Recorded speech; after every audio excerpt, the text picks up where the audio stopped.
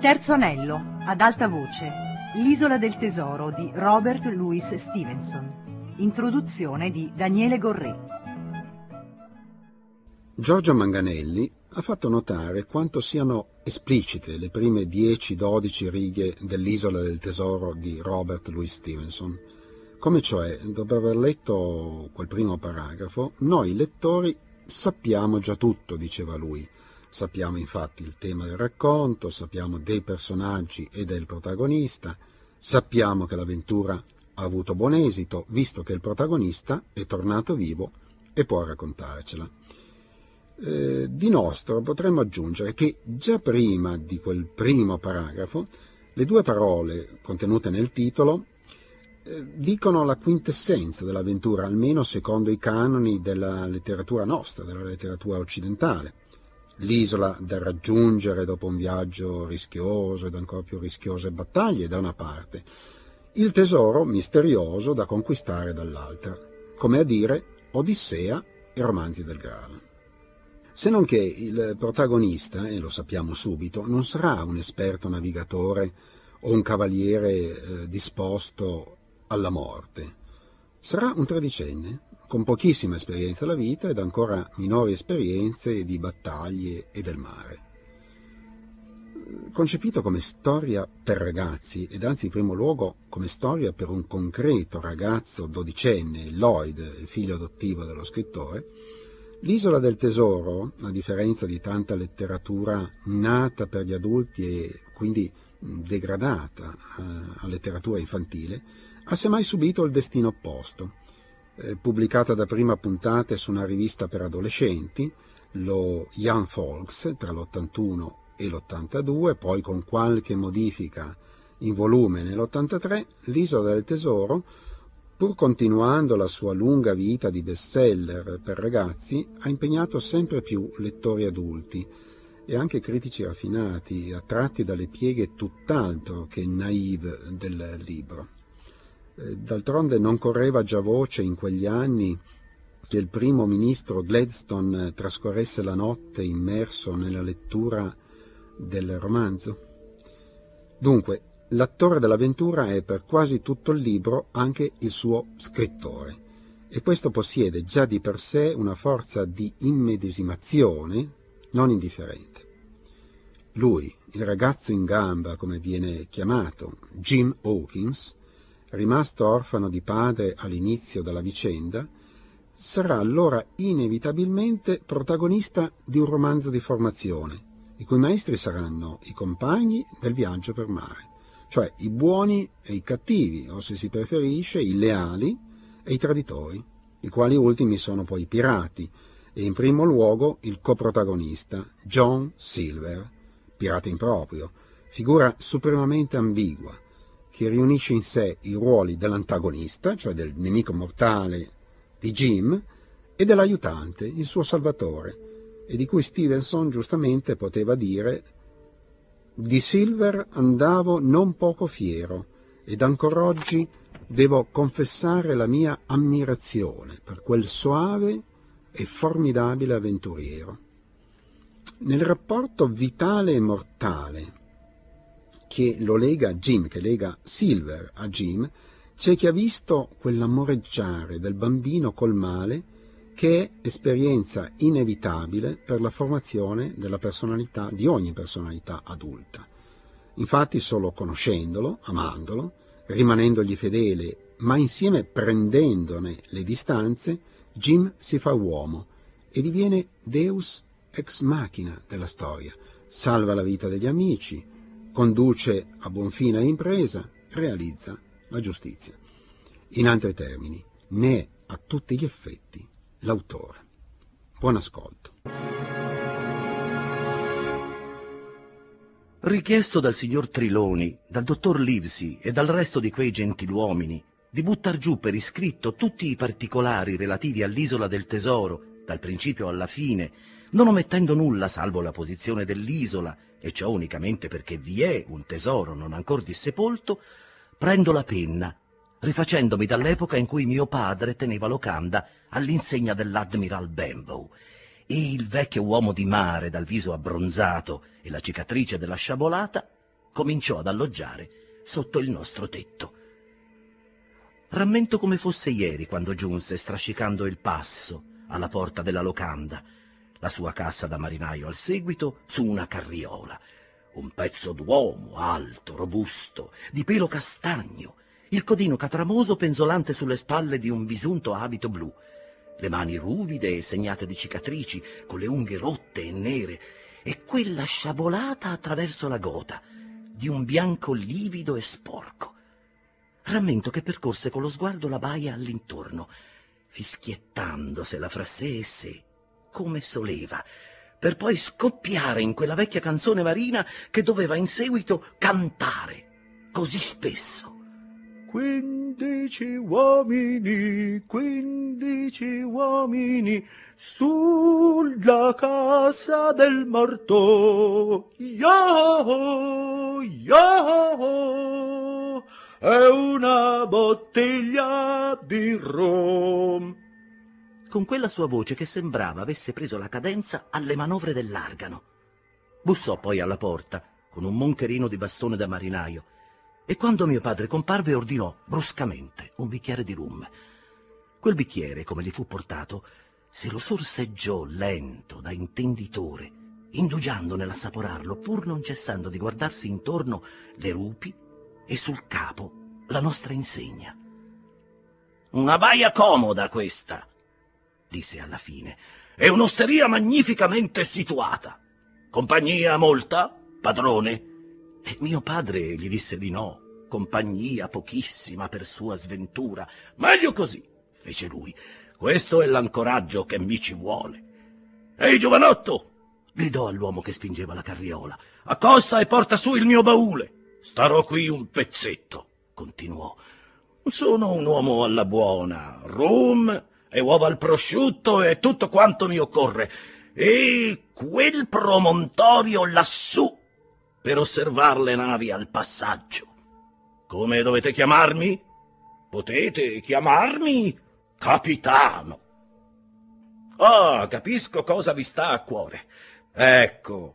E scaraventò tre o quattro pezzi d'oro sulla soglia. Mi avvertirete quando non ci si sta più dentro, concluse, con l'alterigia di un comandante. E a dire il vero, per miserabili che fossero i suoi panni, e grossolana la sua parlata, non aveva nulla dell'aspetto di un uomo d'equipaggio, aveva piuttosto quello di un secondo di bordo o di un armatore, avvezzo a farsi ubbidire o picchiar sodo. L'uomo della carriola ci informò che la diligenza l'aveva scaricato la mattina prima davanti al Royal George, che si era ragguagliato su quanti alberghi ci fossero lungo la costa e, avendo sentito parlar bene del nostro, suppongo io, e descriverlo come solitario, aveva prescelto quello a sua residenza e fu tutto quanto ci fu dato di apprendere sul nostro ospite. Era un tipo taciturno. Tutto il giorno gironzolava per la baia o su per le rupi, con un cannocchiale d'ottone. Tutte le sere tornava a sedersi in un angolo della sala, accanto al fuoco, e beveva punci al rum come niente fosse. Di solito non rispondeva neanche se interpellato, limitandosi a una sguardata rapida e fiera e a un, un bufunchiamento nel naso come un corno da segnali. E noi, e la gente che frequentava la locanda, imparammo presto a lasciarlo in pace. Ogni giorno, reduce dal suo giretto, si informava se qualche uomo di mare fosse passato di lì. Da principio ritenemmo che fosse la mancanza di compagni della sua risma a indurlo a tale domanda, ma finimmo per accorgerci che era invece il desiderio di evitarli. Quando un uomo di mare sostava all'Admiral, come succedeva ogni tanto di qualcuno diretto a Bristol lungo la costa, lo ispezionava attraverso le tendine della porta prima di entrare in sala e finché fosse presente si poteva essere certi di averlo muto come un pesce. Per me, almeno, non esisteva segreto a questo riguardo, perché io ero in certo qual modo partecipe dei suoi allarmi.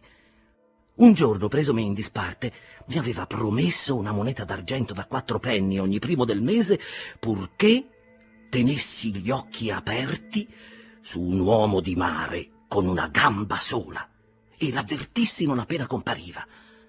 Non di rado veramente quando scoccava il primo del mese e io battevo cassa, si limitava a rivolgermi col suo bufunchiamento nasale e fulminarmi con gli occhi. Però, prima che la settimana finisse, non mancava di venire al miglior consiglio e consegnarmi il mio quarantino d'argento, ripetendomi l'ordine di stare attento all'uomo di mare con una gamba sola. Come ossessionasse i miei sogni quest'individuo è quasi superfluo raccontare. Nelle notti burrascose, quando il vento scuoteva i quattro canti della nostra dimora e la risacca muggiva lungo la baia e contro gli scogli, me lo vedevo davanti in mille forme e con mille diaboliche espressioni. A volte la gamba era tagliata fino al ginocchio, a volte fino all'anca, a volte poi era un essere mostruoso che non aveva mai avuto che quella gamba sola, e quella a mezzo del corpo. Vederlo balzare in corsa e inseguirmi scavalcando siepi e fossi era il peggiore degli incubi. In definitiva, lo pagavo ben caro quel mio quarantino di salario mensile con codeste abominevoli immaginazioni. Ma quantunque fossi così terrorizzato dall'idea dell'uomo di mare con una gamba sola, ero io quello che aveva meno paura del capitano stesso fra quanti lo avvicinavano. Certe sere beveva assai più ponce al rum di quanto il suo cervello potesse sopportare e allora a volte si metteva a cantare certe sue vecchie scellerate selvagge, canzoni marine, come se non ci fosse nessuno. A volte invece ordinava da bere per tutti i presenti e costringeva la tremebonda brigata a prestare ascolto alle sue storie o a far coro ai suoi cantari. Erano quelle sue storie che più di tutto spaventavano la gente storie paurose di impiccagioni, supplizi sull'asse, fortunali di mare, isole delle tartarughe e gesta e località selvagge sulle coste sudamericane. Stando a quei racconti, doveva aver trascorso la vita tra alcuni dei più scellerati uomini cui Dio abbia mai concesso di solcare i mari, e il linguaggio con il quale narrava codeste sue storie scandalizzava i nostri semplici paesani almeno quanto i delitti che descriveva. Mio padre non faceva che dire che ci avrebbe rovinato l'albergo, perché presto gli avventori avrebbero smesso di venirci per farsi tiranneggiare, soverchiare e spedire a letto battendo i denti, ma io credo che in realtà la sua presenza ci facesse gioco. La gente sì era sul momento atterrita, ma poi ripensandoci in seguito ci trovava un tal quale piacere. Era un'emozione eccezionale nella monotonia dell'esistenza di paese e c'era perfino un gruppetto di giovanissimi che ostentavano di ammirarlo, battezzandolo autentico lupo di mare, vero tricheco e simili soprannomi e sostenendo che era con quelle pellacce lì che l'Inghilterra si era resa temuta sul mare. Una volta sola il capitano trovò pane per i suoi denti e fu verso la fine quando il mio povero padre era già avanzato in quel deperimento che doveva condurlo alla tomba. Un pomeriggio sul tardi il dottor Livesey era venuto a visitare il malato e aveva accettato da mia madre uno spuntino ed era entrato in sala per farsi una pipata in attesa che la sua cavalcatura scendesse dal paese, perché al vecchio Bembo non avevamo stalla. Io lo seguii nell'interno e rammento come mi colpì il contrasto fra quel dottore lindo e brillante, con la sua parrucca candida come la neve, quei vivaci occhi neri e quei suoi modi compiti, e i rustici paesani, ma soprattutto quel nostro lurido, pesante, cisposo spaventacchio di pirata, che sedeva in un canto, inciucchito dal rum con le braccia sul tavolo. D'improvviso costui, intendo il capitano, cominciò a berciare quella sua eterna canzone Quindici uomini, quindici uomini sulla cassa del morto Io, io, è una bottiglia di rum Nei primi tempi io avevo immaginato che la cassa del morto altro non fosse che quel suo cassone da marinaio che teneva su nella stanza sul davanti e quel pensiero si era associato nei miei incubi con quello dell'uomo di mare da una gamba sola. Ma da un pezzo avevamo tutti smesso di prestare a quel suo canto qualsiasi attenzione. Quella sera non era nuovo per nessuno, eccetto che per il dottor Livesey, e su lui mi avvidi che non produceva gradevole impressione, perché alzò la testa un istante, piuttosto seccato, prima di riprendere la conversazione su una nuova cura dei reumatismi col vecchio giardiniere Taylor. Nel frattempo il capitano era andato via più eccitandosi al suono della propria musica, finché batté la mano sul tavolo che aveva davanti in un modo che tutti sapevano significava silenzio. Le voci zittirono all'istante, tranne quella del dottor Livsi, che seguitò come niente fosse nello stesso tono chiaro e cortese, tirando vivacemente alla sua pipa tra una parola e l'altra. Il capitano lo squadrò per un poco, battì di nuovo la mano lo squadrò ancor più bieco e finalmente esplose in una screanzata, triviale bestemmia. Silenzio! Laggiù tra i ponti! Avete interpellato me, signore? domandò il medico. E quando quel ribaldo gli ebbe confermato con un altro sacramento che era proprio così. E allora, signor mio, io non ho che un'unica cosa da dirvi, replicò il dottore e cioè che se seguitate a ingozzare rum, presto il mondo sarà sbarazzato di una fetentissima carogna. Il furore del vecchio lupo di mare salì al colmo.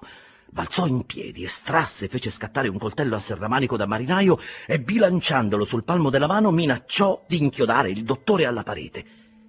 Questi non batte ciglio. Continuò a parlargli come prima al di sopra della spalla, piuttosto ad alta voce in modo che tutta la stanza potesse sentirlo ma perfettamente calmo e impassibile. Se non rimettete in tasca all'istante quel coltello, prometto sul mio onore di farvi impiccare alle prossime assise. Seguì tra loro un duello di sguardi, ma il capitano presto abbandonò la partita, abbassò il suo, ripose l'arma e si rimise a sedere, mugolando, come un cane bastonato.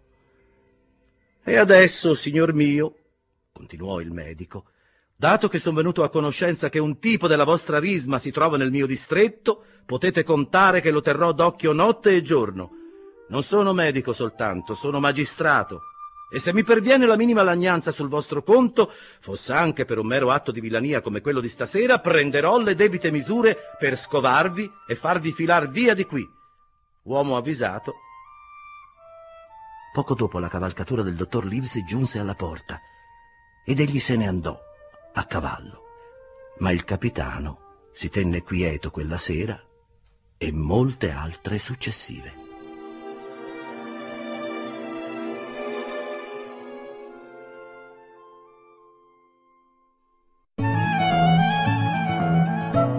Piero Baldini ha letto L'isola del tesoro di Robert Louis Stevenson. Riduzione Giovanni Piccioni. Regia Adelchi Battista. Coordinamento Fabiana Carobolante. Il terzo anello chiocciolarai.it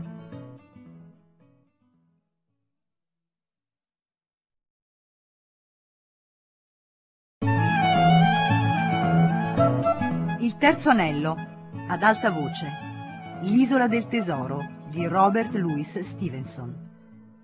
Non trascorse molto tempo che si produsse il primo dei misteriosi avvenimenti che dovevano finalmente sbarazzarci del capitano. Mia madre era su col babbo e io stavo apparecchiando il tavolo della colazione per il ritorno del capitano quando la porta si aprì e si introdusse un individuo che non avevo mai visto prima.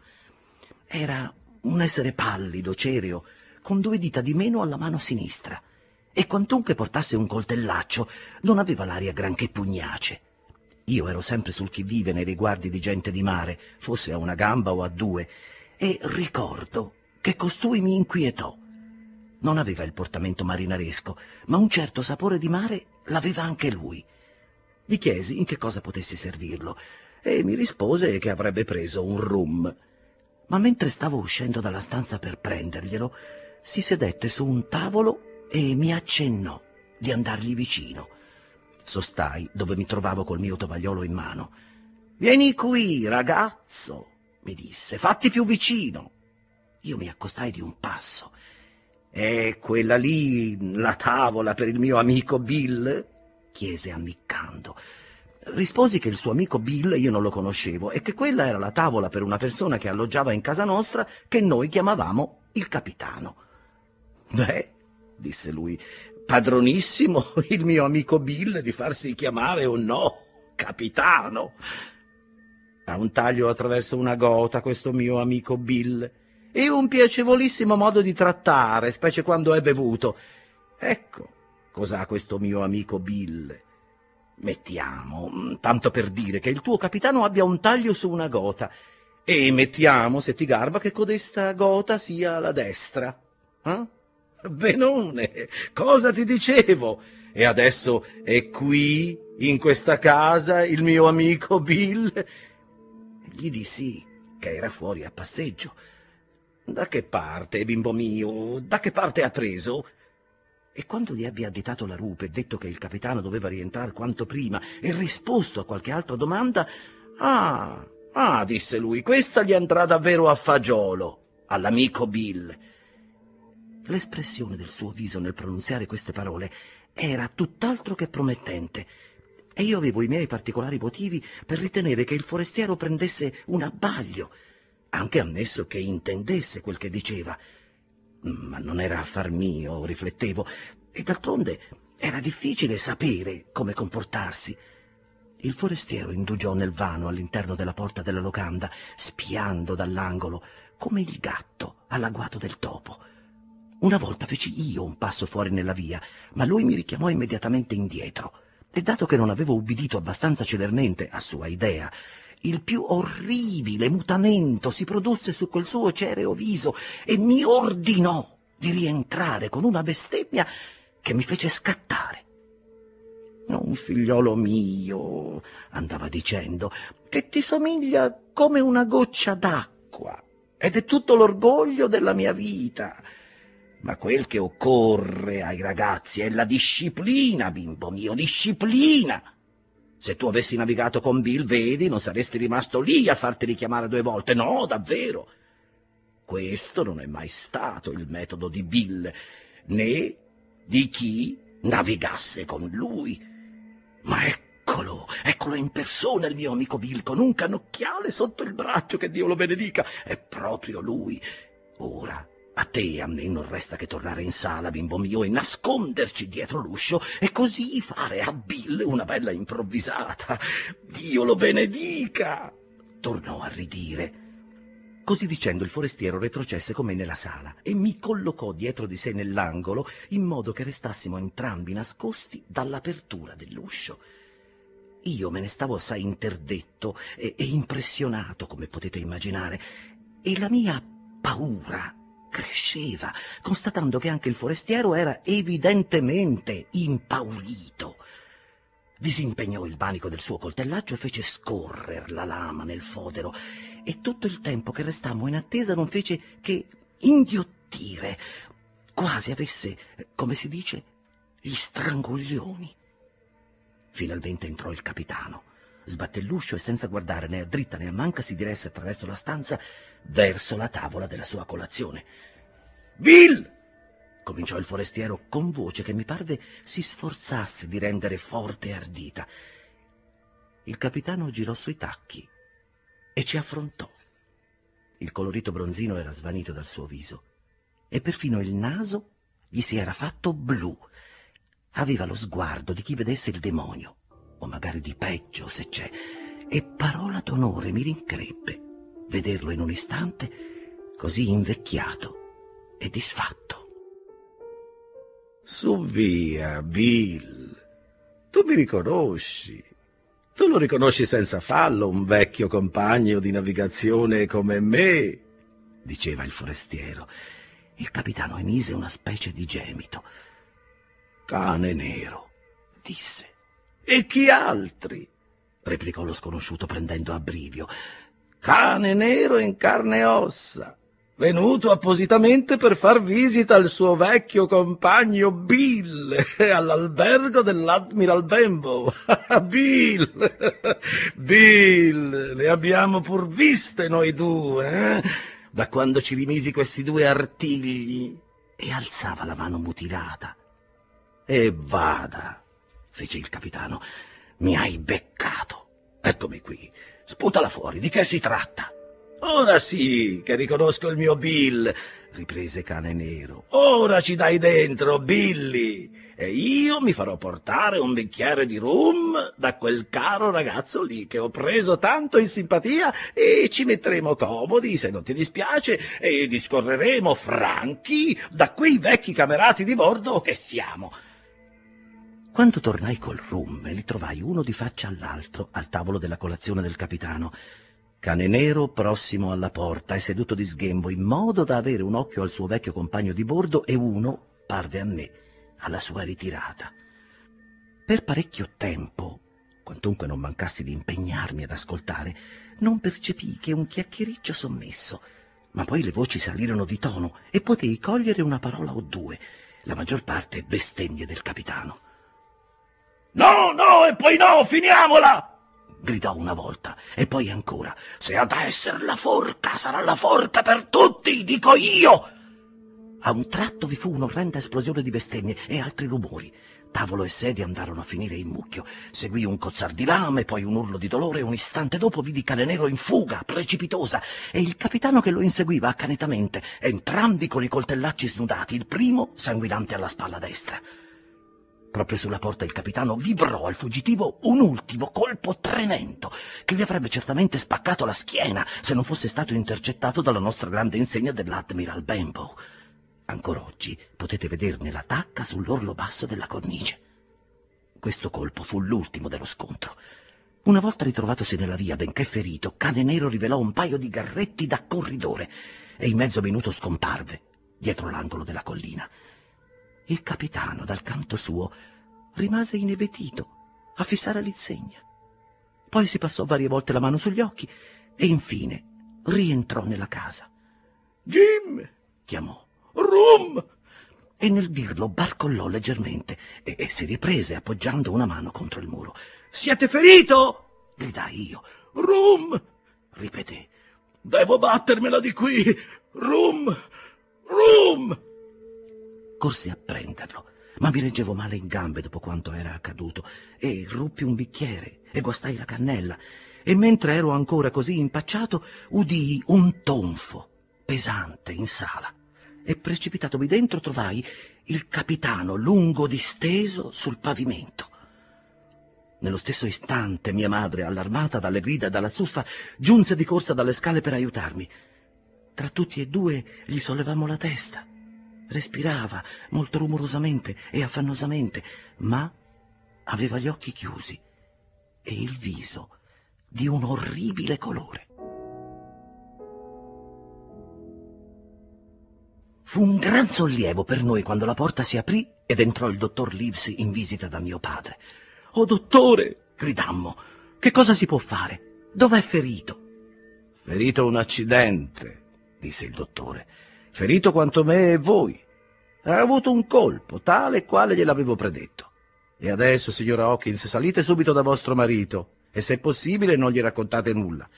Dal canto mio, devo fare del mio meglio per salvare la vita tre volte spregevole di questo individuo e il nostro Jim mi porterà una catinella.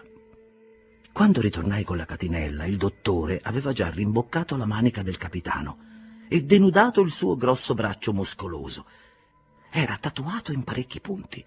Ecco la fortuna. Vento in poppa.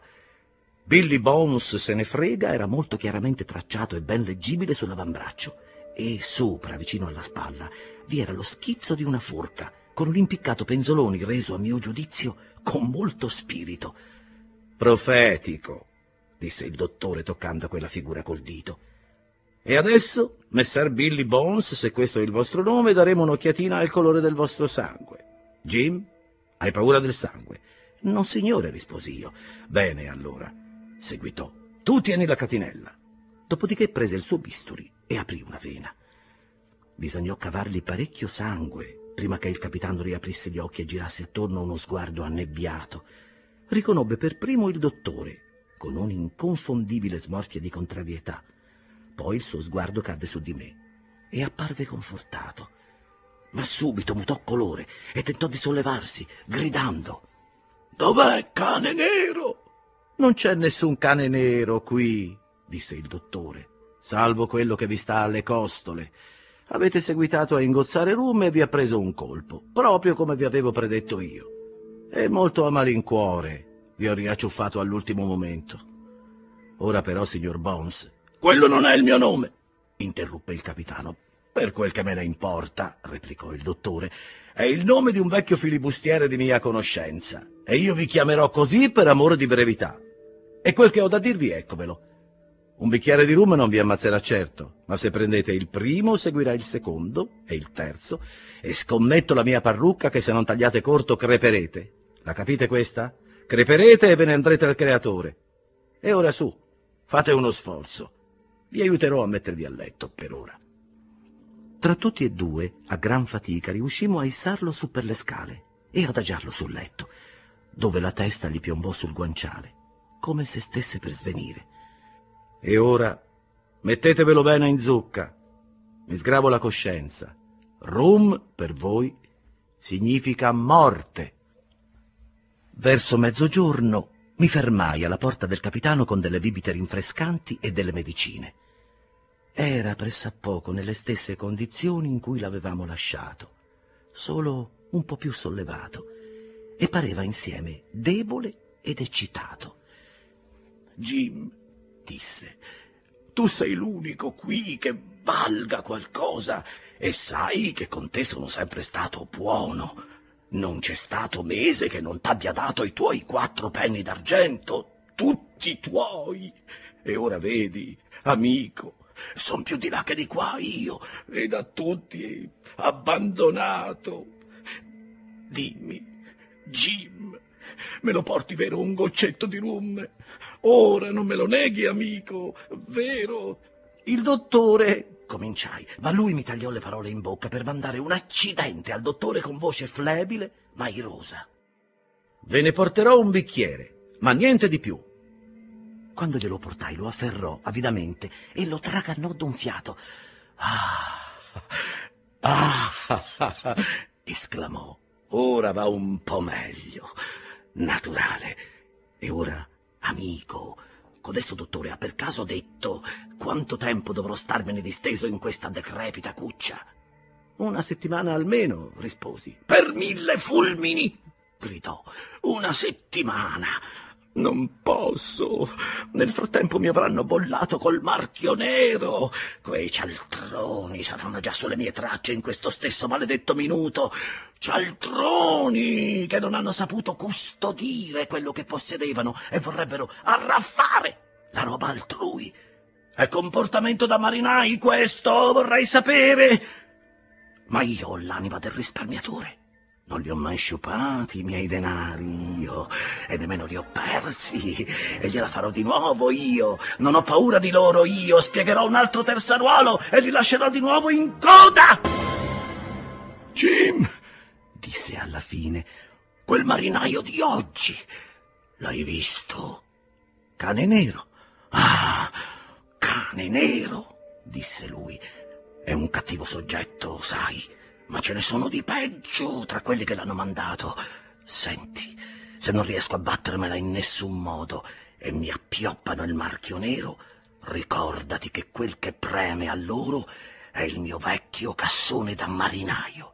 Dunque tu mettiti a cavallo, ci sai stare, vero? Bene, allora mettiti a cavallo e vai ma sì che voglio! Vai, vai da quella vecchia ciabatta di dottore e digli di chiamare a raccolta più gente che può, magistrati e via dicendo, e ne farà una retata di tutti qui all'Admiral Bembo. Tutta la vecchia ciurba di Flint, dal marinaio al mozzo, tutto quel che ne rimane. Ero il secondo di bordo io, secondo di bordo del vecchio Flint, e sono l'unico ah, che conosca il luogo Me lo indicò a Savannah, lui stesso, quando era morente, come fossi io ora, vedi? Ma non fiatare, non fiatare finché non mi bollano col marchio nero, o finché non rivedi quel cane nero, o l'uomo di mare con una gamba sola, Jim, soprattutto quello.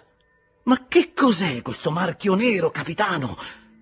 È un avvertimento, figliuolo Te lo spiegherò meglio se arrivassero figli. Tu fa la buona guardia, Gin. E faremo a mezzo, noi due. Parola d'onore. Che cosa avrei fatto? Se tutto fosse andato regolarmente, non lo so.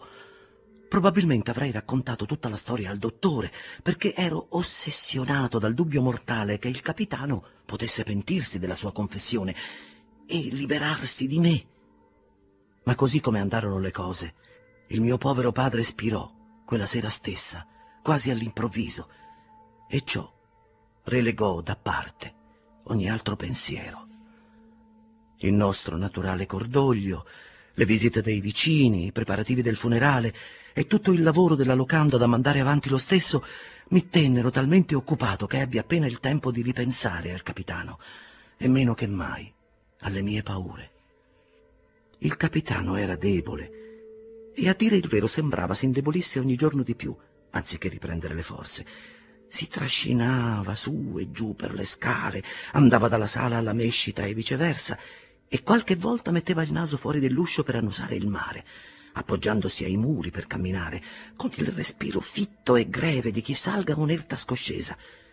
Non si rivolse mai più a me in particolare, ed è mia convinzione che si fosse più che scordato le sue confidenze, ma il suo umore era irritabile, e per quanto glielo permetteva la sua debolezza fisica, più violento che mai.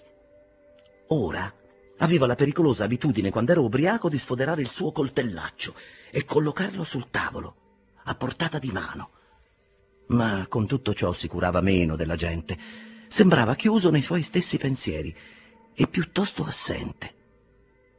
Una volta, ad esempio, con nostra somma sorpresa, intonò un'aria diversa, una specie di rustico canto d'amore che doveva aver appreso in gioventù, prima di mettersi a navigare.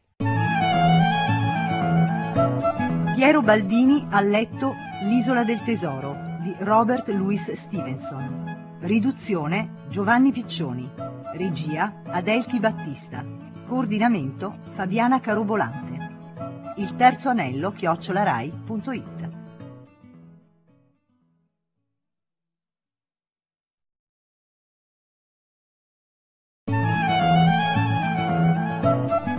terzo anello, ad alta voce, L'isola del tesoro di Robert Louis Stevenson. Così andarono le cose, finché il giorno dopo il funerale, circa le tre di un gelido tetro pomeriggio nebbioso, mentre mi trattenevo un momento sulla soglia immerso in neri pensieri su mio padre, scorsi un viandante avvicinarsi lento sulla via. Doveva essere totalmente cieco, perché picchiava davanti a sé con un bastone e portava una mascherina verde sugli occhi e sul naso.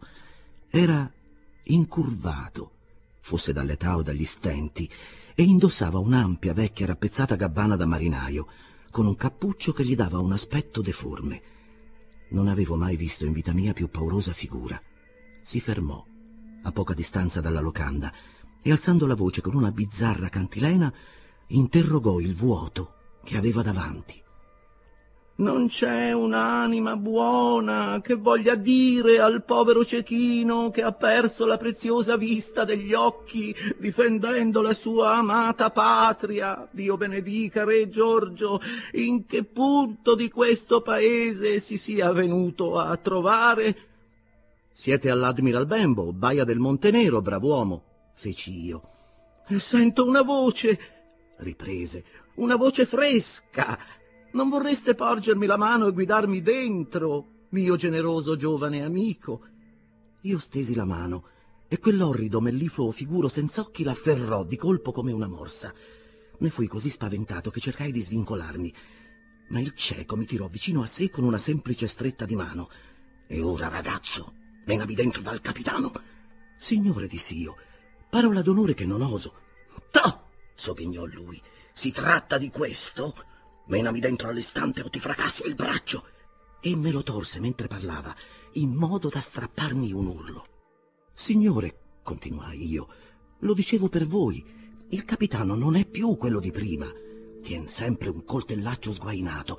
Un altro signore... Basta così e filare! tagliò corto lui. E io non avevo mai sentito voce più ghiaccia, spietata e odiosa di quella di quel cieco. Il cieco s'attaccava a me, stringendomi nella sua morsa d'acciaio e appoggiandomi addosso più del suo peso che non potessi sopportare. Conducimi dritto a lui e quando sarò in vista grida forte Bill, ecco un amico per voi. Se non lo fai questo ti farò io. E accompagnò il suo dire con un pizzicotto tale che credetti svenire. Messo fra l'uscio e il muro, ero così disfatto dal terrore del cieco che dimenticai il mio terrore del capitano e nell'aprire la porta pronunciai le parole impostemi con voce tremebonda. Il povero capitano alzò gli occhi e alla prima occhiata i fumi del rum svanirono, lasciandolo disintossicato a fissarci. L'espressione del suo viso non fu tanto di terrore, quanto di mortale stanchezza. Fece l'atto di muoversi, ma non credo gli rimanesse abbastanza forza fisica. E ora, Bill, resta dove ti trovi, disse il mendicante. Se non posso vedere quando si muove un dito, lo sento. Gli affari sono affari. Porgi la mano sinistra. E tu, piccolo, prendi codesta mano per il polso e accostala alla mia destra. Gli ubbidimmo entrambi alla lettera e io gli vidi passare qualcosa dal cavo della mano in cui teneva il bastone nel palmo di quella del capitano, che richiuse istantaneamente. Anche questa è fatta, disse il cieco, e con tali parole abbandonò la presa e con incredibile precisione e sveltezza scivolò fuori della sala nella via, donde, mentre ero ancora immobile, mi giunse il picchiettio del suo bastone che man mano si allontanava. Passò un po' di tempo prima che io e il capitano potessimo riaverci, ma alla fine, e quasi nel preciso istante, io lasciai libero il polso che ancora stringevo e lui ritirò la sua mano e dette una sbirciata alla palma. Alle dieci! gridò. Abbiamo sei ore, gliela facciamo ancora! E balzò in piedi, ma nell'alzarsi barcollò. Si portò la mano alla gola, rimase in bilico un attimo e poi, con un rantolo strano, stramazzò, lungo disteso, a faccia avanti sul pavimento. Accorsi a lui sull'istante, chiamando mia madre, ma ogni sollecitudine era vana. Il capitano era rimasto fulminato secco da un colpo. Strano a capirsi, perché quell'uomo a me non era mai certamente piaciuto, per quanto da ultimo avessi preso a compatirlo, ma non appena vidi che era morto, ruppi in un pianto dirotto. Era la seconda morte cui assistevo, e il dolore della prima mi era ancor fresco nel cuore. Non tardai oltre a raccontare a mia madre tutto quanto sapevo. Si imponeva una decisione immediata e alla fine ci venne in mente di uscire insieme e cercare aiuto nel villaggio vicino.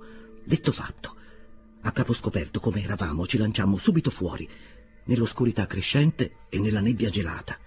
Il villaggio si trovava a poche centinaia di yarde, sebbene nascosto alla vista, sull'altro versante della baia contigua, e ciò che mi rincuorava assai era in direzione opposta a quella donde era comparso il cieco e dove era probabilmente tornato.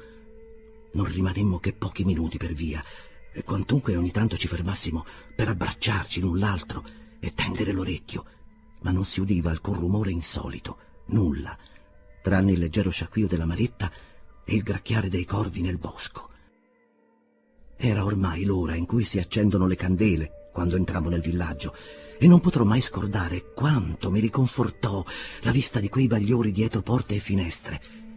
Ma questo risultò poi era tutto l'aiuto che potessimo aspettarci in quei paraggi, perché, e si potrebbe pensare che quegli uomini avrebbero dovuto vergognarsi di se stessi, non ci fu uno che consentisse a ritornare con noi all'Admiral Bembo. Più insistevamo sui nostri guai e più quelli, uomini, donne e fanciulli, si stringevano alla protezione delle proprie case. Il nome del capitano Flint, se era nuovo per me, era più che noto ad alcuni di loro e si tirava dietro una sequela di spaventi. Alcuni che si erano trovati al lavoro nei campi sul lato opposto a quello dell'Admiral Bembo rammentavano in più di aver visto parecchi forestieri per la via e di essersela squagliata ritenendoli contrabbandieri, e almeno uno aveva visto un piccolo trabaccolo in quella che chiamavano la tana di Kit. Per questo bastava che un individuo qualsiasi fosse stato compagno del capitano per incuter loro un mortale terrore. Conclusione di tutto fu che riuscimmo a trovare alcuni disposti a correre a cavallo dal dottor Livesey, che si trovava in direzione opposta, ma nessuno che volesse aiutarci a difendere la locanda. Dicono che la viltà sia contagiosa, ma d'altra parte la disputa ispira coraggio. E così, quando ciascuno ebbe detto la sua, mia madre tenne loro un discorso. Non intendeva lei perdere del denaro che apparteneva a suo figlio orfano. Se nessuno di quanti siete osa, oseremo Jim e io. Torneremo indietro per la stessa via da cui siamo venuti e sentite i ringraziamenti a voi altri omaccioni dal cuor di coniglio. L'apriremo noi quella cassa, doveste costarci la vita. E vi sarò grata, signora Crosley, se ci presterete quella borsa per riporci il denaro che ci è dovuto. Manco a dirlo io dichiarai che avrei seguito mia madre, e manco a dirlo tutti riprovarono ad alta voce la nostra temerarietà. Ma nemmeno allora ci fu un cane disposto ad accompagnarci. Tutto il loro aiuto si ridusse a dare a me una pistola carica nel caso fossimo stati aggrediti e a promettere di tenere i cavalli sellati in caso fossimo inseguiti al ritorno.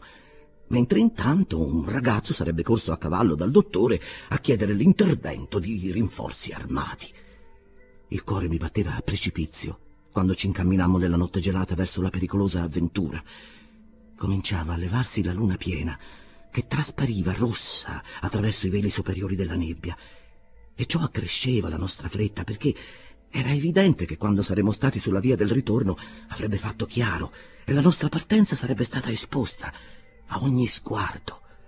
Ratti e silenziosi scivolammo lungo le siepi, senza vedere né udire nulla che accrescesse i nostri terrori, finché, con nostro grande sollievo, la porta dell'Admiral Bembo si richiuse dietro di noi.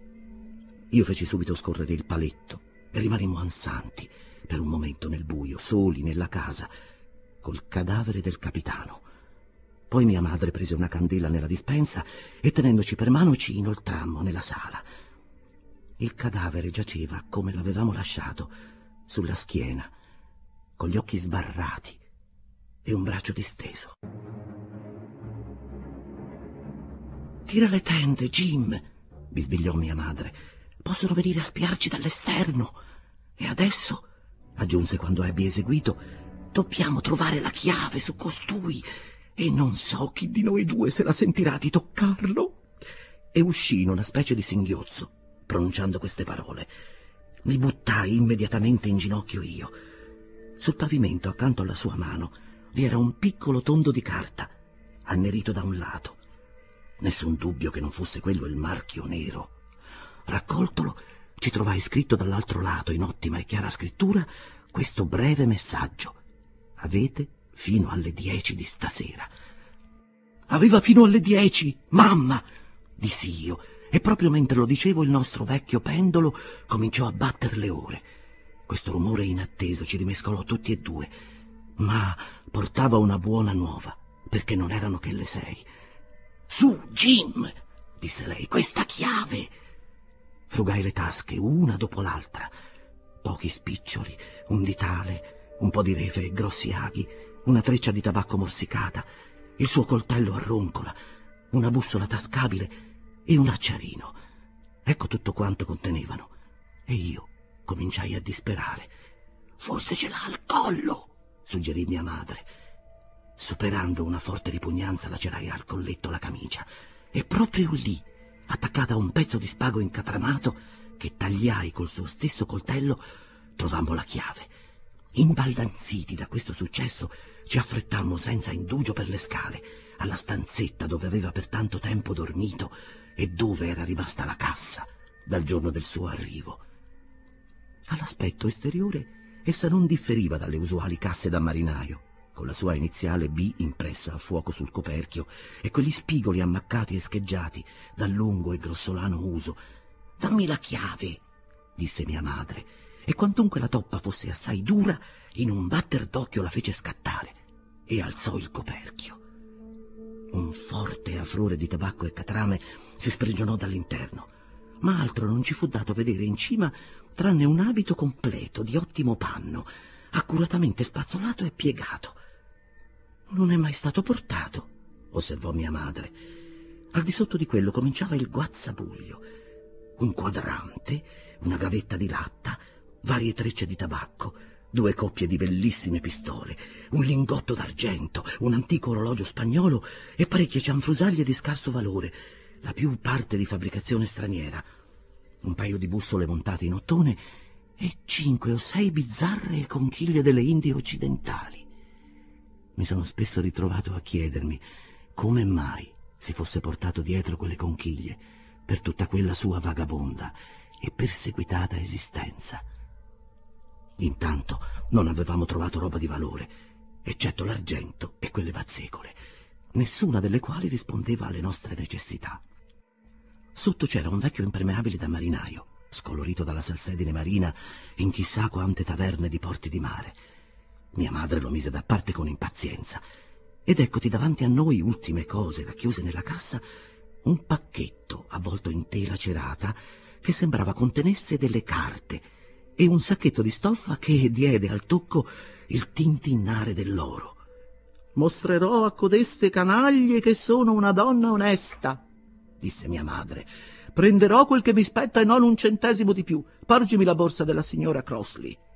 E cominciò a contare l'importo del debito del capitano, passandolo dal sacchetto del marinaio alla borsa che io le porgevo.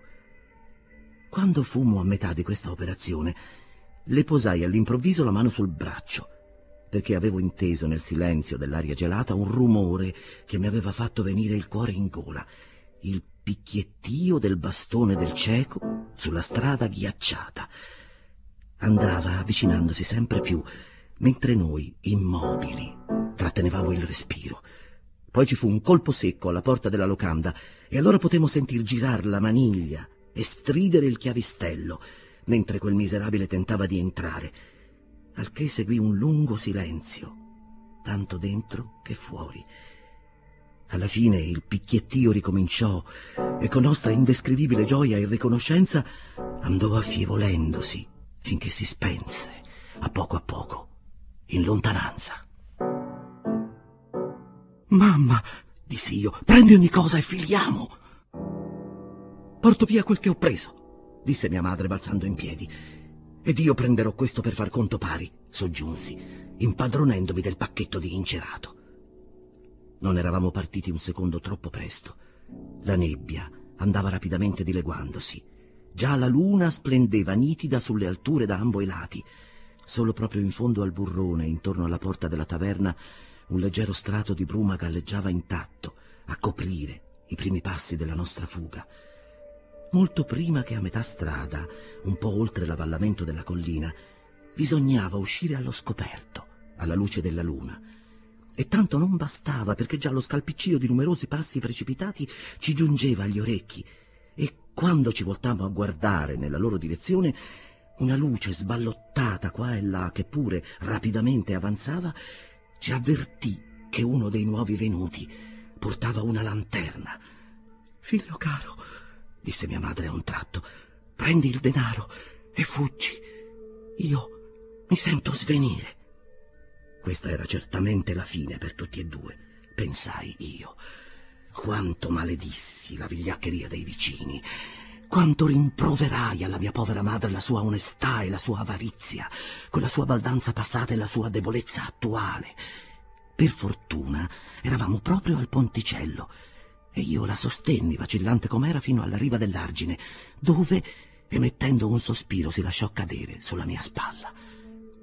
Non so come trovassi la forza di farlo, e temo di averlo fatto brutalmente, ma riuscii a trascinarla giù dall'argine e un po' sotto l'arcata. Più oltre non potei portarla, perché il ponte era troppo basso per permettermi di far altro che strisciarci sotto. Così ci toccò rimaner lì, mia madre quasi completamente in vista, ed entrambi a portata di voce dalla locanda. La mia curiosità fu in certo qual modo più forte della mia paura, perché non mi riuscì di restare dove mi trovavo, ma strisciai di nuovo verso l'argine, donde riparando il capo dietro un cespuglio di ginestre, potevo dominare la strada davanti alla nostra porta.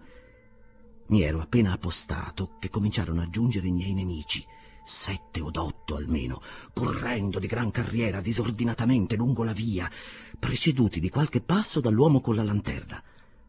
Tre correvano insieme, tenendosi per mano, e potei ravvisare in quello di mezzo, anche attraverso la nebbia, il mendicante cieco. Un istante dopo la sua voce mi provò che avevo colto nel segno. Giù la porta! urlava Signor sì, signor sì! e che già erano due o tre, e dettero un gran colpo contro l'Admiral Bembo, rischiarati dal portatore di lanterna. Ma poi li vidi sostare e sentii i loro discorsi scendere di tono, quasi sorpresi di aver trovato la porta aperta.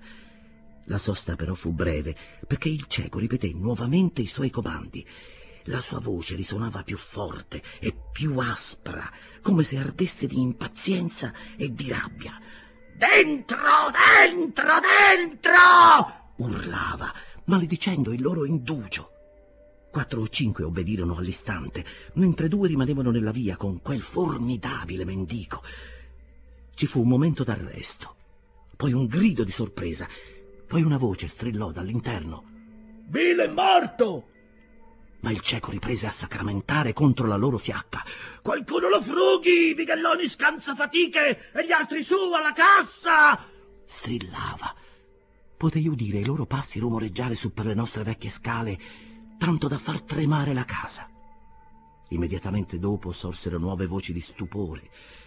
La finestra della camera del capitano fu spalancata con fracasso e tintinnar di vetri infranti, e un uomo si affacciò nel chiaro di luna, testa e spalle, rivolgendosi al mendico cieco nella strada. Più! gridò. Ci han preceduti! Qualcuno ha buttato all'aria la cassa! Non c'è! ruggì più il denaro c'è! Il cieco mandò un accidente al denaro. La carta di Flint, voglio dire! Non riusciamo a trovarla da nessuna parte! replicò l'uomo. Ehi, voi altri al pianterreno! Non c'è addosso a Bill! gridò di nuovo il cieco.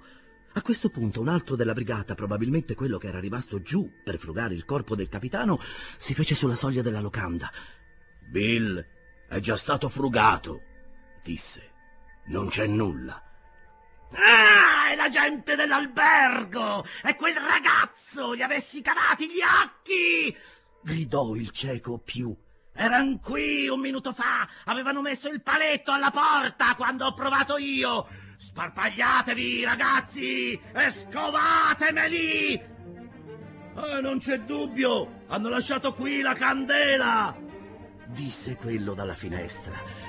Cercate, cercate e scovatemeli! Buttate all'aria la casa!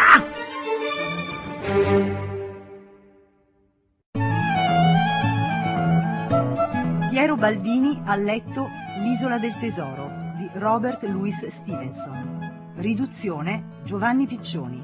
Regia Adelchi Battista. Coordinamento Fabiana Carobolante il terzo anello chiocciolarai.it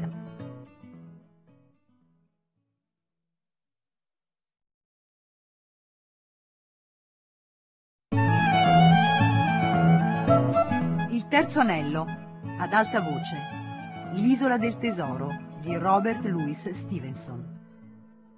Lo stesso sibilo che aveva allarmato me e mia madre mentre contavamo i denari del capitano si fece riudire ancor più chiaramente attraverso la notte, questa volta ripetuto due volte.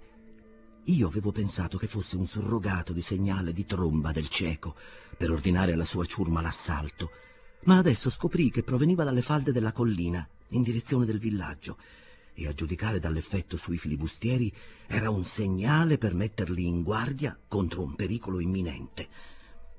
Di nuovo Dirk, osservò uno, e due volte è il caso di battersela, compagni. Battersela, eh? Vigliacconi! gridò più. Quel Dirk non è mai stato altro che un fesso e un vigliacco. Non dategli retta. Devono essere da queste parti, non possono essere lontani. Ci siete addosso. Sparpagliatevi e cercateli, figli di cani. Accidenti a me, se soltanto avessi i miei occhi. Avete sotto mano un tesoro, scimuniti che non siete altro, e ve ne state con le mani in mano. Sareste ricchi come nababbi se lo trovaste, e sapete che c'è, ve ne state lì a far flanella.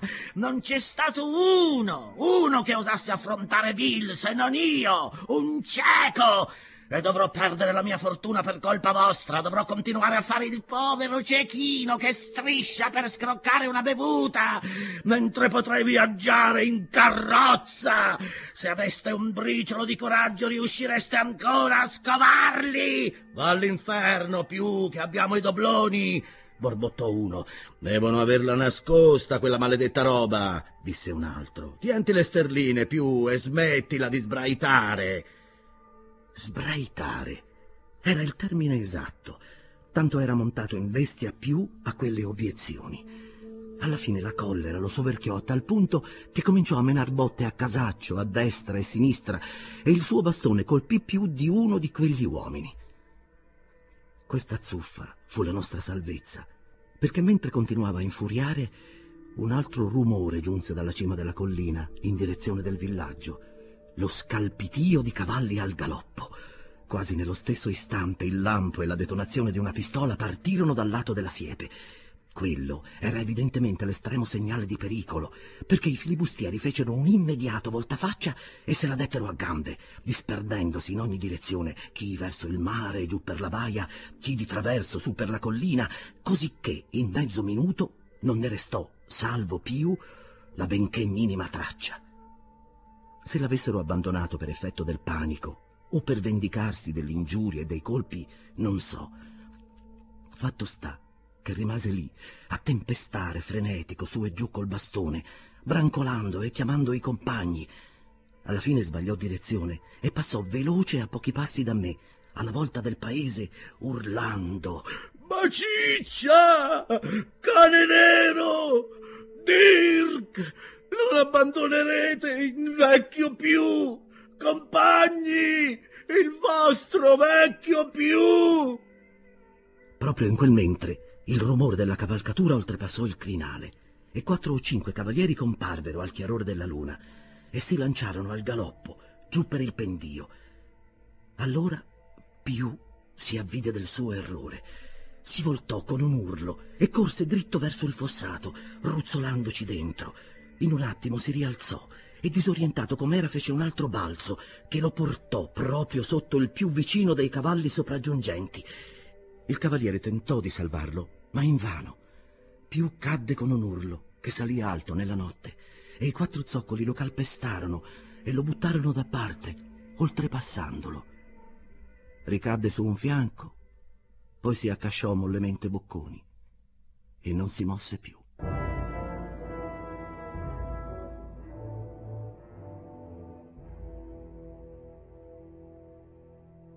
Io balzai in piedi e detti una voce ai cavalieri. Essi stavano già arrestandosi ad ogni buon conto, inorriditi dal caso, e io subito li riconobbi. Uno di loro che si teneva in coda dietro agli altri era il ragazzo partito dal villaggio in cerca del dottor Livesey. Gli altri erano doganieri che aveva incontrato per via, coi quali aveva avuto l'accortezza di tornare indietro immediatamente. Qualche voce sul bastimento della tana di Kit era pervenuta all'ispettore Dance e lo aveva indirizzato quella sera stessa dalle nostre parti. E fu in virtù di tale circostanza che mia madre ed io scampammo alla morte. Più era morto, morto stecchito. Quanto a mia madre, non appena trasportata su al villaggio, bastarono un po' di acqua fresca e di sali per farla rinvenire, e per lo spavento provato non se la cavò poi troppo male, quantunque continuasse ancora a rimpiangere di non aver regolato i suoi conti. Frattanto l'ispettore era filato a gran galoppo alla tana di Kit, ma i suoi uomini erano stati costretti a smontare e, scendere a tentoni giù per il fosso, conducendo e a volte sorreggendo i propri cavalli per il continuo timore di imboscate, cosicché non può meravigliare se quando giunsero in fondo alla tana il bastimento aveva già levato l'ancora, quantunque fosse ancora assai vicino, L'ispettore lo chiamò. Una voce gli replicò avvertendolo di tenersi fuori del lume di luna se non voleva buscarsi del piombo e al contempo una pallottola fischiò rasente il suo braccio. Poco dopo il vascello doppiò il promontorio e scomparve. Il signor Dance rimase lì, per dirla con parole sue, come un pesce fuor d'acqua. E tutto quanto poté fare fu di spedire un uomo ad avvertire il cutter della dogana ritornai con lui all'Admiral Bembo e non si può immaginare in quale stato di rovinio trovassi la casa. Il signor Dance non riusciva a capacitarsi della cosa. Il denaro l'han preso, dici tu. E allora, Hawkins, che cosa diavolo cercavano ancora? Altro denaro, forse? No, signore, denaro no, non credo. In verità, signore, credo di averlo in tasca io, quel che cercavano, e per dirla schietta desidererei metterlo al sicuro. Certo, più che giusto, ragazzo mio. Lo prenderò in consegna io, se credi. Io pensavo veramente che il dottor Livesey... Cominciai. Perfettamente, interruppe lui con convinzione, perfettamente. Un gentiluomo e magistrato. E ora che ci penso sarà meglio che arrivi fin là anch'io e faccia il mio rapporto a lui e al cavaliere. Mastro Più è morto, dopo tutto, non che lo rimpianga, ma è morto, come vedi, e la gente potrebbe usarlo come pretesto per dare addosso a un ufficiale della dogana di Sua Maestà. Ecco che cosa ti propongo, Hawkins. Se ti va, ti prendo con me. Cavalcammo, rapidi per tutto il percorso, e non ci arrestammo che alla porta del dottor Livesey. La facciata della casa era totalmente buia. Il signor Dance mi ordinò di saltare a terra e bussare. Doggar mi porse una staffa per smontare. La porta ci fu aperta quasi subito dalla cameriera. C'è il dottor Livesey? chiesi. Mi rispose di no, che tornato a casa nel pomeriggio era poi salito al castello per pranzarci e passar la serata con il cavaliere. E allora andiamo là, ragazzi, disse il signor Dance. Arrivati al castello del cavaliere, il servo ci guidò lungo un corridoio ricoperto di tappeti, all'estremità del quale ci fece entrare in una vasta biblioteca, piena di scaffali, su cui erano collocati dei busti, dove trovammo il cavaliere e il dottor Livesey, seduti, pipa alla mano, di fronte a un bel fuoco. Non avevo mai visto il cavaliere così da vicino. Era un pezzo d'uomo alto quasi sei piedi e largo in proporzione, dalla fisionomia brusca, vivace e rude, tutta arrossata e solcata di rughe dai lunghi viaggi. Le sue sopracciglia nerissime si muovevano rapide e ciò gli dava un'espressione un po' irritabile, non cattiva direi, ma risentita e altezzosa. Fatevi avanti, Signor Dance, disse con molta maestà e condiscendenza. Buonasera, Dance, disse il dottore con un cenno. E buonasera a te, amico Jim. Qual buon vento ti porta qui? L'ispettore si mise rigido sull'attenti e fece il suo rapporto, quasi recitasse una lezione. Molto prima che il racconto finisse, il signor Trilloni, ricorderete che era questo il nome del cavaliere, era balzato dalla sedia e misurava a gran passi la sala.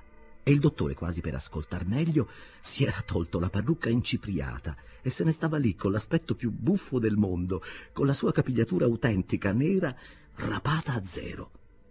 Finalmente il signor Dance terminò il suo rapporto. Signor Dance, disse il cavaliere, siete un magnifico collaboratore. E quanto l'aver pestato quel perfido, atroce scellerato lo considero un atto meritorio come, come schiacciare uno scarafaggio. Questo nostro Jim poi è un asso di briscola, quel che vedo. Hawkins, vuoi suonare codesto campanello? Il signor Dance vorrà gradire un boccale di birra. Dunque, Jim, disse il dottore, l'hai nelle mani tu allora quel che stavamo cercando. Eccolo, signore, dissi io, e gli consegnai il pacchetto di tela cerata. Il dottore lo rigirò nelle sue mani, come se le dita gli bruciassero dalla voglia di aprirlo, ma invece di aprirlo se lo mise tranquillamente nella tasca della giacca. Cavaliere, disse, quando Dance avrà bevuto la sua birra gli toccherà evidentemente di rientrare al servizio di Sua Maestà, ma io avrei intenzione di trattenere Jim Hawkins qui e farlo dormire a casa mia e col vostro permesso proporrei di fargli portare il pasticcio freddo e dargli da cena. Come volete, Livesey, disse il cavaliere. Hawkins si è guadagnato ben altro che un pasticcio freddo. Dunque, cavaliere, disse il dottore. Dunque, Livesey, disse il cavaliere nel medesimo istante. Uno alla volta, uno alla volta uscì ridendo il dottore. Immagino che avrete sentito parlare di codesto Flint. Sentito parlare? Lo chiamate sentirne parlare? Era il filibustiere più sanguinario che solcasse i mari, barba nera, al confronto era, era un innocentino. Gli spagnoli ne avevano una tale paura che vi confesso, caro signore, di essermi a volte sentito orgoglioso che fosse un inglese. Coi miei occhi ho visto le sue vele al largo di Trinidad e quel vigliaccone di un figlio di ubriaconi con il quale navigavo io rientrò in porto. Rientrò in porto, signor mio, a Port of Spain. Beh, ne ho sentito parlare anch'io in Inghilterra, disse il dottore, ma il punto capitale è questo. Aveva o non aveva denari? Denari! gridò il cavaliere. Non avete sentito il racconto? Di che altro andavano in cerca quei ribaldi se non di denari? Che altro stava loro a cuore se non i denari? Perché cos'altro metterebbero a repentaglio le loro carcasse miserabili se non per denari? Questo lo sapremo presto, replicò il dottore. Ma voi siete così esageratamente infervorato che non riesco a dire una parola. Quel che ho bisogno di sapere è questo. Supposto che io abbia qui in tasca qualche indizio su dove Flint abbia sotterrato il suo tesoro, ritenete che possa essere considerevole codesto tesoro? Considerevole, signore! gridò il cavaliere. Considerevole tanto che che se possedete l'indizio cui alludete, io volo ad armare un bastimento nel porto di Bristol, mi tiro dietro voi e Hawkins e faccio saltar fuori codesto tesoro. Dovessi impiegare un anno a scovarlo. Benissimo, disse il dottore, e allora col consenso di Jim apriremo il pacchetto. E glielo pose davanti sul tavolo. L'involto era cucito e il dottore dovette tirar fuori l'astuccio dei ferri e tagliare i punti con le forbici da chirurgo. Conteneva due cose, un taccuino e un plico sigillato. Cominciamo a esaminare il taccuino, osservò il dottore. Sulla prima pagina non c'era che qualche sgorbio, come potrebbe farne chiunque si trovasse la penna in mano e non avesse altro da fare o volesse esercitarsi. Uno era identico al tatuaggio Billy Bones se ne frega. Seguivano un signor William Bones, pilota. Mai più rum. La buscata al largo di Pan Key e qualche altro sgorbio, per lo più vocaboli isolati e incomprensibili. Di qui non c'è da tirar fuori un granché, disse il dottor Livesey, continuando a sfogliare. Non ci capisco un H, disse il dottor Livesey. Ma se è chiaro quanto la luce del sole! gridò il cavaliere. Questo è il libro dei conti di quel manigoldo. Le crocette rappresentano i nomi dei bastimenti che affondavano o delle città che mettevano a sacco. Le somme sono la parte che toccava a quel furfante, il quale, quando temeva un equivoco, aggiungeva, come vedete, qualche precisazione al largo di Caracas deve trattarsi di qualche disgraziato veliero abbordato al largo di quella costa. Eh, Dio abbia misericordia dei poveretti che l'equipaggiavano sepolti in mare in quei giorni lontani. Perfetto, disse il dottore. Vedete cosa vuol dire aver navigato. Perfetto. E la somma cresce, vedete man mano che sale di grado. C'era poco più nel libretto, salvo la posizione di alcune località registrate negli ultimi fogli bianchi e una tavola per ragguagliare la moneta inglese, francese o spagnola a un valore comune. Che volpone! gridò il dottore. Non era tipo da farsi mettere in mezzo lui. E ora? disse il cavaliere. All'altro. La carta era stata sigillata in vari punti con un ditale a uso sigillo, forse quello stesso che avevo trovato in tasca del capitano. Il dottore rimosse i sigilli con gran cura e ne venne fuori la mappa di un'isola. Latitudine e longitudine, fondali, nomi di monti, baie e stretti e ogni altro particolare necessario a condurre una nave a un sicuro ancoraggio sulle sue coste.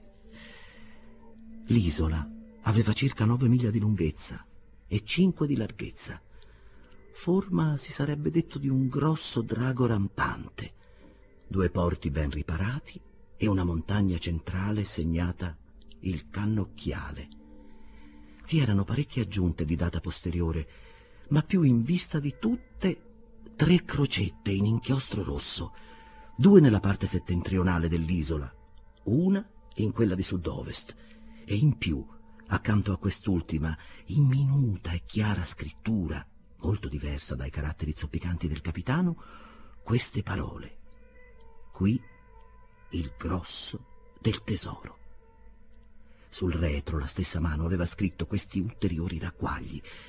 Grande albero, spalla del canocchiale, direzione nord-nord-est, quarta a nord, isola dello scheletro, est-sud-est, quarta ad est, dieci piedi. Il lingotto d'argento è nel nascondiglio nord.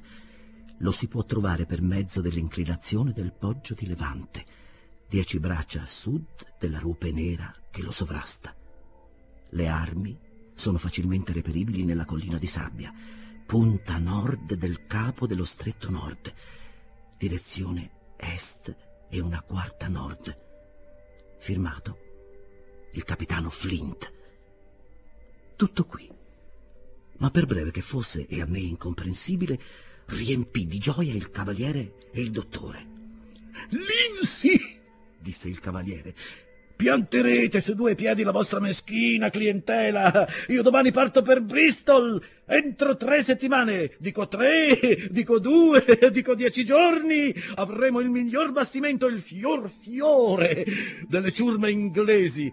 Hawkins ci seguirà come mozzo. Ah, diventerai un mozzo coi fiocchi, Hawkins. Voi sarete il medico di bordo, io l'ammiraglio. Oh, prenderemo con noi Redruth, Joyce e Hunter. Garantisco vento in poppa, attraversata lampo, manco l'ombra di una difficoltà a identificare il luogo e denari a bizzeffe da nuotarci dentro, da giocarceli a scopone per tutto il resto della nostra esistenza. Triloni, disse il dottore, verrò con voi e mi rendo garante della cosa. E così pure Jim e faremo onore all'impresa. Non c'è che una persona che mi dia da pensare.